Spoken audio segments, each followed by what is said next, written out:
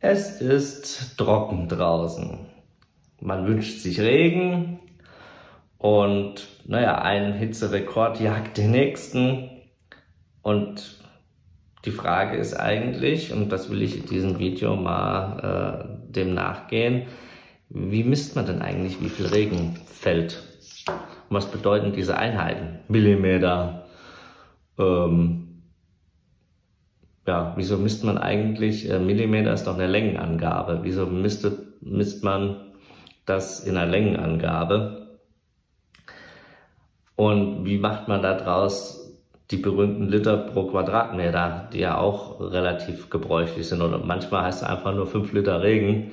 Da fehlt halt pro Quadratmeter in der Regel. Ja, das hier ist ein Regenmesser. Der schwarze Rand ist im Prinzip hier nur eine Erinnerungshilfe. Hier kann ich im Prinzip einstellen, was ich abgelesen habe. Meinetwegen, wenn ich hier 5 mm abgelesen habe, stelle ich das ein, dann schütte ich den Inhalt aus. Und wenn ich dann wieder 5 mm ablesen sollte, dann kann ich meinetwegen hier 10 einstellen. Und dann habe ich zum Beispiel übers Jahr aufsummiert, was an Regen gefallen ist. Das Spannende ist jetzt diese Skala, wobei das Ding ist halt leider immer so ein bisschen knifflig, weil wenn man genau guckt, das ist leider kein Fehler der Kamera, das ist ja auch in echt so. Hier unten diese fünf Striche, die sind weiter auseinander im Vergleich hier, äh, hier oben. Und wenn ich mal einen Maßstab hier reinhalte, dann sieht man, das sind im Leben nicht fünf Millimeter. Wie kommt diese komische Skala zustande? Naja, erstmal ist dieses Gefäß nicht zylindrisch, sondern das hier unten ist der, die Fläche, die Grundfläche ist viel kleiner im Vergleich zu der Grundfläche hier oben. Das führt natürlich dazu, dass hier unten die Striche weiter auseinander sind im Vergleich zu hier oben. Gut, hat einen Vorteil, wenn es nur wenig regnet, habe ich, kann ich das mit einer großen Genauigkeit ablesen.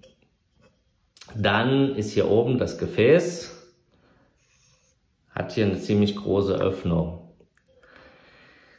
Was passiert? Wenn es regnet, fällt der Regen hier rein und wird dann hier unten in dem zylindrischen Gefäß gesammelt. Äh, nicht zylindrischen Gefäß, in dem, ja, äh, kleiner werdenden Gefäß ähm, gesammelt. So, sagen wir Messbecher. Wobei Messbecher ist eigentlich auch zylindrisch. Also, wie auch immer, auf jeden Fall wird es hier gesammelt. Was bedeuten nun diese 40 mm im Extremfall oder hier 5 mm oder 1 mm? Ist ja eigentlich eine Längenangabe.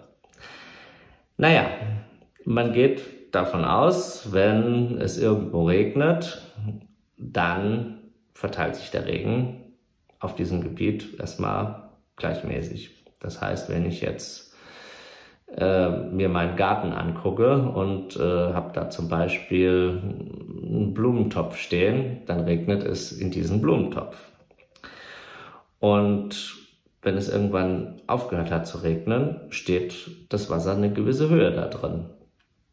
Und wenn ich zwei Blumentöpfe habe und beiden identisch sind, wird auch das Wasser gleich hoch stehen.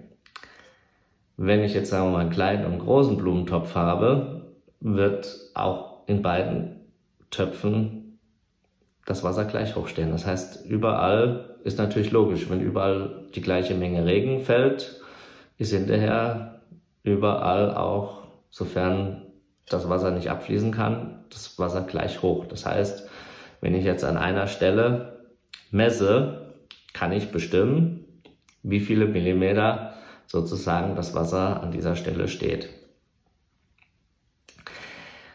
Jetzt ist natürlich die spannende Frage, wie werden daraus Liter? Weil mit 5 Millimeter kann ich noch nicht so viel anfangen. Dazu habe ich mir einen Spickzettel vorbereitet. Jetzt wird man sagen, das ist ja ein toller Spickzettel. Da steht ja gar nichts drauf. Das Besondere an dem Spickzettel ist, das hier sind 10 cm. Und das hier sind auch 10 cm. 10 cm sind ein Dezimeter.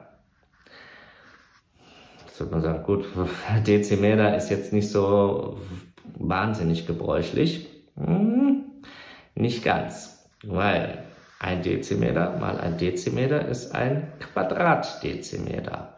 Und wenn ich mir das Ganze dreidimensional vorstelle, als Würfel, dann habe ich ja nicht nur ein Dezimeter mal ein Dezimeter, sondern ein Dezimeter mal ein Dezimeter und noch ein Dezimeter in die Höhe. Und dieser Würfel hat eine Besonderheit. Es ist nicht nur ein Kubikdezimeter, es ist vor allen Dingen ein Liter. So, was mache ich also mit dieser Erkenntnis. Ich gehe mal ein bisschen weiter. Ich will ja letztendlich auf den Quadratmeter kommen. Wie viele Dezimeter brauche ich, um einen Quadratmeter auszulegen? Hm. Ich habe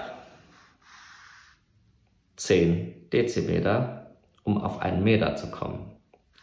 Und wenn ich einen Quadratmeter habe, habe ich 10 Dezimeter mal 10 Dezimeter.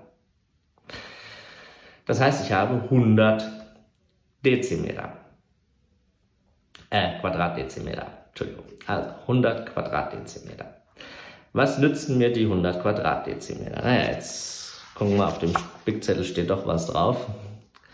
Und zwar, wenn ich das mal in die Kamera halte.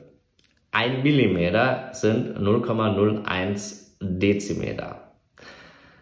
Warum habe ich das umgerechnet? Naja, wie ich eben erklärt habe, ein Little, ein Little, ein Liter ist ein Kubikdezimeter. Das heißt, wenn ich jetzt weiß, dass ein Quadratmeter 100 Quadratdezimeter sind, kann ich mir jetzt überlegen, welches Volumen bedeutet das, wenn ich einen Millimeter Regen habe. Das heißt, ich habe jetzt hier gemessen, ein Millimeter Regen das heißt, ich habe ein Millimeter, es sind ja 0,01 Dezimeter, hier die unterste Zeile, mal meinen Quadratmeter, das sind ja 100 Quadratdezimeter, das ist dann ein Kubikdezimeter und ein Kubikdezimeter ist ja nichts anderes als ein Liter. Das heißt, eigentlich hätte man hier oben auch Liter pro Quadratmeter äh, genau, Liter pro Quadratmeter draufschreiben können. Das heißt, wenn ich hier 5 mm ablese, sind 5 Liter auf einen Quadratmeter gefallen.